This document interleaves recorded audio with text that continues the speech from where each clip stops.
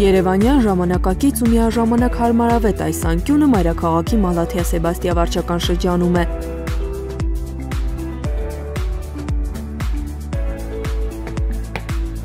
Ավելի քան 1 տարի շարունակվող բարեկարգման եւ կանաչապատման աշխատանքներն այստեղ մեկնարկել էին հարևանությամբ գտնվող Հայաստան կինոթատրոնի վերաբացմամբ։ Զբոսայգու առաջին հատվածի հիմնանորոգումից հետո ժամանցի կենտրոնի կողմից ու հենց տնտեսվարողի ուժերով տարածքն ամբողջությամբ բարեկարգվեց, կանաչապատվեց ու կահավորվեց։ գալիս ենք այստեղ ամեն օր, շատ հարմար այգի է։ Ամեն ինչով հարմար է, եւ երեխաների, եւ մեծերի, եւ ծերերի, բոլորի համար։ Համ աչք է շոյվում, չէ, համ հանգստյան գոտի է։ Դպրոցից եմ գալիս տեղ կամ տնից։ Հրաշալի տեղ են սարքել։ Իհարկե, մեզ պետք էր սա։ Կինո Հայաստան կոմպլեքսի վերաբացումից հետո որոշեցինք, որ պետք է այգին ամբողջովին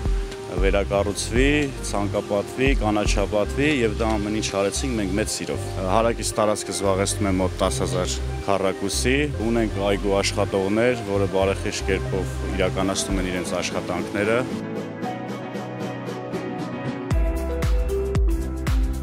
Հարակից տարածքները, որոնք հատկապես ծառայում են բնակչության ընդհանուր օգտագործման համար, բարեկարգ ու խնամված որոշ հատվածներում նաև կանաչապատ պետք է լինեն տարվա բոլոր եղանակներին։ Մի քանի տարի շարունակ քաղաքապետարան վարչական շրջաններ ամենօրյա աշխատանքից ու վերահսկման համակարգի ներդրումից հետո այսօր արդեն Երևանի հավաքանու որոշումը հարակից ընդհանուր օգտագործման տարածքների պարտադիր բարեկարգման մասով գործնականում տեսանելի է մայրաքաղաքում։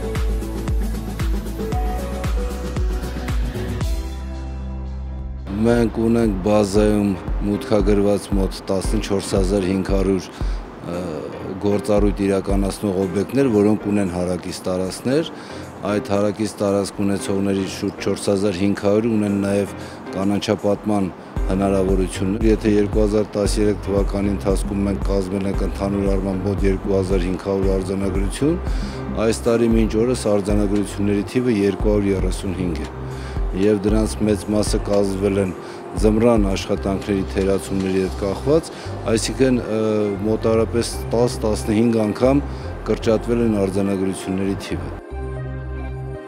Ավականու որոշումը ոչ միայն տնտեսվարողների, այլև մայրաքաղաքում գործող բոլոր պետական, համայնքային եւ մասնավոր կառույցների, այդ թվում կրթական հաստատությունների, առողջապահական հիմնարկների եւ մյուս հաստատությունների համար է։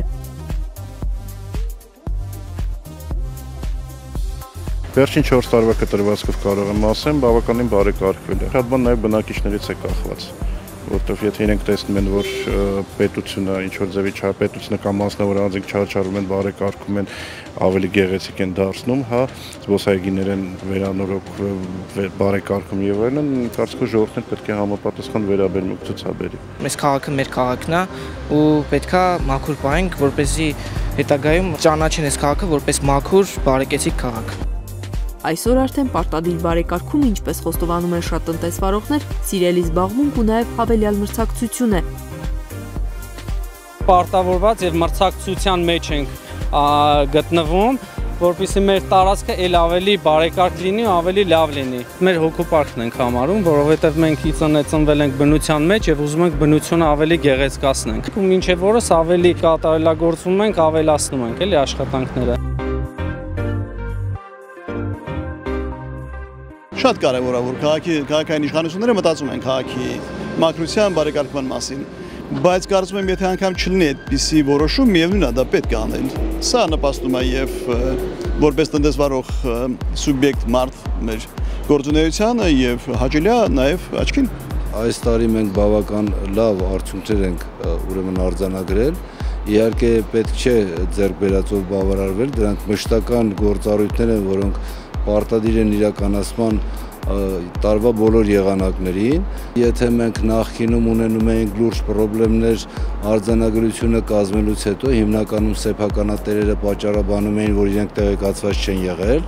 եւ դա դժվար էր ապացուցել։ Այսօր այդ բոլոր նյութերը տեղադրվում է համակարգ եւ նիստին ներկայացողը կամ սեփականատերը կամ գործարարը կամ տնորենը մենք ուղակի բազայում ցուցադրում ենք նրան տեղեկացված լինելու մասին նյութերը ստորագրություններով ամսաթվով եւ ուղակի արդեն խոսելու բան չի մնում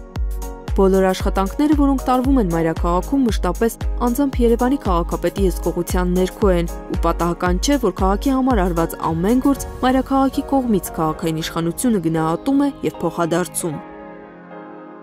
Մեծ ու միաժամանակ փոքր երիտասարդ ու միաժամանակ 2798-ամյա Երևանում բոլոր ծրագրերն ուղղված են մեկ հիմնական նպատակի՝ Երևանն այսօրվա ու վաղվա սերնդի համար դարձնել ավելի լավը։